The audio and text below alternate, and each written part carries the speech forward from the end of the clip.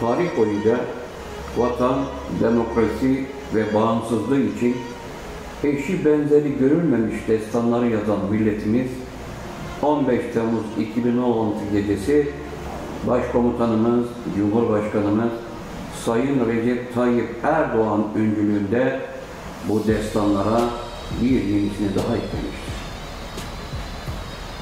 O karanlık gecede Sayın Cumhurbaşkanımızın sevk ve idaresinde aziz milletimiz ve kahraman güvenlik güçlerimiz onurlu duruşuyla hain darbe girişini püskürtülmüş ve bu direniş tarihimizin en büyük destanlarından biri olarak hafızalara kazınmıştır.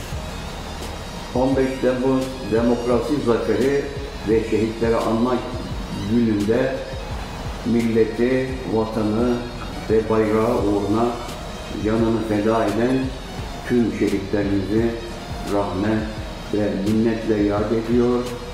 Gazilerimize ise şükranlarını sunuyor, hayırlı uzun ömürler diliyor. 15 Temmuz Demokrasi Zaferi ve Şehitleri Anma Gününüz kutlu olsun. Selam ve saygılarımla.